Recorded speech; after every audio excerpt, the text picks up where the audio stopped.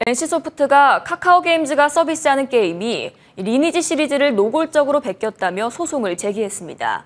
그 배경은 무엇이고 게임 산업에 어떤 영향을 끼칠지 서정근 기자가 짚어봤습니다. NC소프트 재직 중 리니지를 만들었던 송재경 엑스엘게임즈 대표. 엑스엘게임즈가 개발해 카카오게임즈가 서비스하고 있는 아키에이지 워.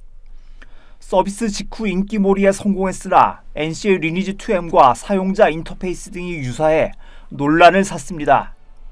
NC는 엑스엘게임즈와 카카오게임즈가 리니지 2M의 저작권을 침해했다며 어제 서울중앙지법에 소장을 냈습니다.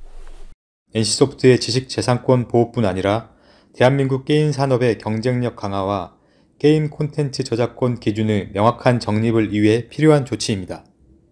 카카오 게임즈는 관련해서 소장을 확인한 후 관련한 입장을 밝히겠다고 언급했습니다. 리니지 시리즈가 한국 게임 시장에서 차지하는 절대적인 위상 탓에 리니지를 벤치마킹하는 이른바 리니지 라이크 게임은 차고도 넘쳐납니다.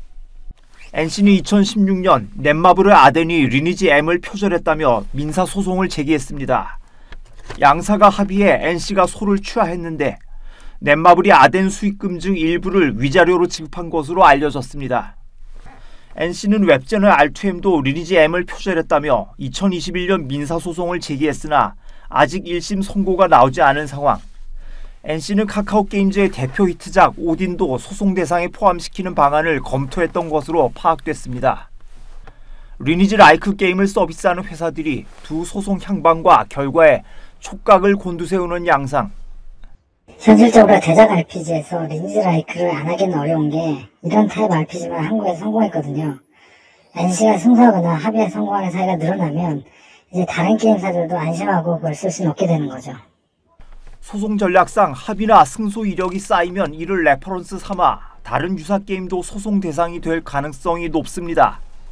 각 기업들의 득실 여부를 떠나 제작 현장에서 콘텐츠 저작권 관련 기준이 명확하게 정립되는 계기가 될 수 있을지 눈길을 모읍니다. 머니투데이 방송 서정근입니다.